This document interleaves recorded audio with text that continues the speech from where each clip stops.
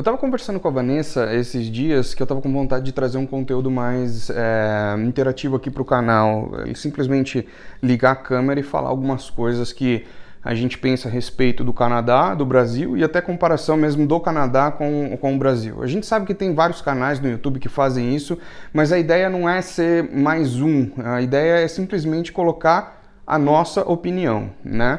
É por isso que cada um tem a sua opinião.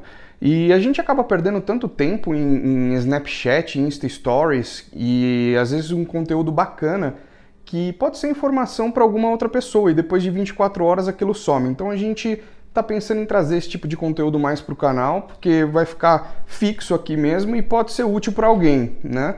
Então a gente espera que dê certo. Vamos lá, hoje eu vou é, simplesmente checar meu mailbox e eu vou mostrar para vocês como é diferente a questão de receber cartas do correio aqui no Canadá e no Brasil. Talvez alguns saibam, mas quem não sabe é bem diferente. Eu vou mostrar. Bora lá comigo. Vamos lá. É bem diferente a questão de receber correspondência aqui no Canadá e no Brasil. No Brasil a gente está muito acostumado com a, com a questão de você receber as correspondências direto na sua casa, né? E na verdade aqui funciona bem diferente ah, com relação ao Brasil esse ponto, porque Aqui existem um, mailbox communities, que são é, locais onde vem o cara do correio e já deposita ali todas as suas uh, cartas daquela, daquela área, né? Então, assim, por bairro tem vários desses mail communities onde é separado por um uh, grupo de casas, uh, vamos dizer assim. Eu vou mostrar para vocês como é que funciona isso.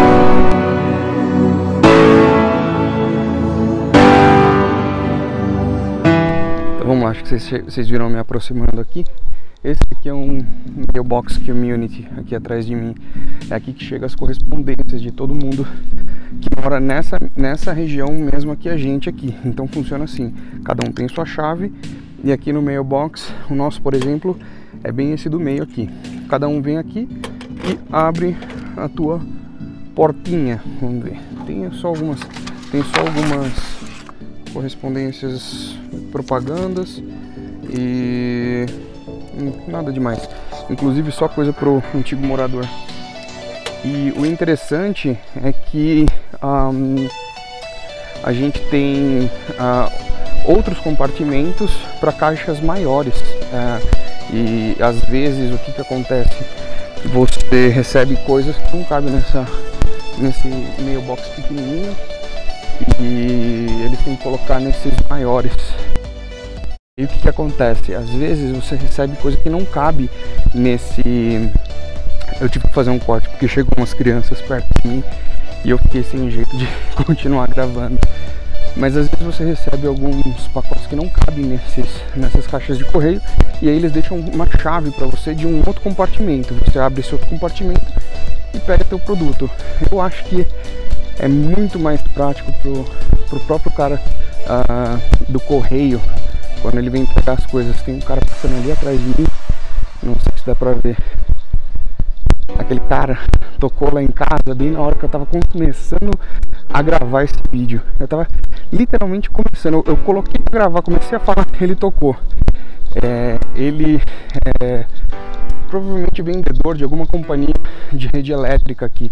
Aliás, isso é um outro assunto. Diferente do Brasil, aqui não tem um monopólio de empresas que prestam esse tipo de serviço de uh, energia elétrica, água, gás, são várias companhias. Então, elas têm várias ações assim de venda de produto para tentar atrair os clientes, como qualquer outro produto, né? Mas são várias empresas que prestam esse tipo de serviço aqui. Então é mais ou menos como uma é, companhia telefônica que você, ah, não estou gostando desse serviço, tá caro, vou para aquele ali que tá mais barato porque tem uma promoção melhor. Mas esse é vídeo para um outro assunto. Voltando ao assunto do mailbox, eu acho que é muito mais prático o cara do correio dessa forma, porque ele chega, já coloca todas as, as correspondências ali e vai embora. E isso eu acho que é justo aqui pro Canadá, porque você imagina o cara menos 30, menos 35 graus, tendo que andar casa por casa e deixar correspondência para cada um. Então ele vem, deixa e vai embora.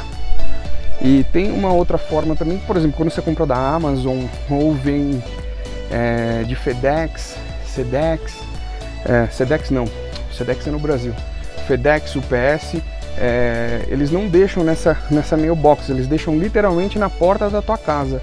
E aí você, quando chega em casa, pega e recebe teu produto que já está ali na tua porta. E o incrível é que ninguém mexe. E é muito comum. Você passa por vários, várias casas que você vê é, caixas, às vezes até enorme, de, de entrega e fica ali bonitinho até o proprietário da casa chegar e pegar. Então funciona assim aqui. E é isso aí. Hoje foi só um vídeo rapidinho mesmo para mostrar isso e fazer esse primeiro teste de uh, vlog, áudio, enfim, aqui com vocês.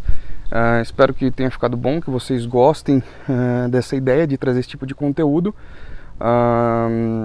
não vamos deixar, como eu falei antes, não vamos deixar de fazer aquele outro, aqueles outros tipos de vídeo, mas a gente tem sentido falta simplesmente de ligar a câmera e trocar uma ideia aqui a respeito de algumas coisas que a gente pensa. Até o próximo vídeo, espero que vocês gostem. Falou!